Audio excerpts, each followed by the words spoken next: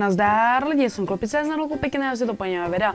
A dneska vás vítám u speciálnějšího videa. Dneska to bude video uh, z takového ásku, který jsem pojmenoval PSKNS a to je zkrátka ptejte se Klopika na kraviny. Já jsem to řekl blbě. Je to PSKNK. A nic, nevadí. Takže a tedy um, rovnou bychom se tady mohli do toho vrhnout. Kolik ti je let? No tak, teďka mi bylo 15 a je to super, už mi bylo 15 a budu si muset dělat občanku a to je velký špatný. Takže tak, baví tě škola nebo jde ti? No tak škola, no, teďka jsem se v něčem zhoršil, v něčem zase zhoršil. Škola mě nebaví, ale zase líbí se mi tam, že zase se tam sejdu s kámošem a tak, ale škola je velký špatný. Třeba teďka jsem se zlepšil v češtině, v minulý rok jsem, minulý pololetí jsem měl za tři, a BTV jsem v 8. třídě. A jsem měl za tři z češtiny na vysvědčení a teď mi vychází za dva, takže super. Takže jsem se v něčem zhoršil zase, pro změnu v matici a to je špatný.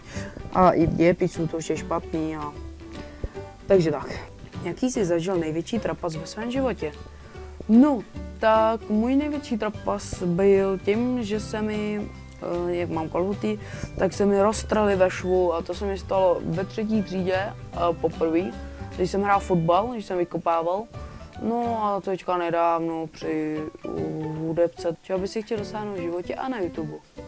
No tak v životě, to ještě vůbec nevím, čeho bych chtěl dosáhnout a na YouTube bych chtěl dosáhnout toho, abych co nejvíc z vás lidí pobavil a aby se vám zalíbila má tvorba, protože každý člověk nový, co přijde tady na kanál a dá mi odběr, tak mi udělá právě že s tím hroznou radost a a se aspoň takhle jakoby ocení tu práci a tak. Co nejraději děláš ve svém volném čase? No tak ve svém volném čase, tak to natáčím na YouTube a nebo po případě hraju hry.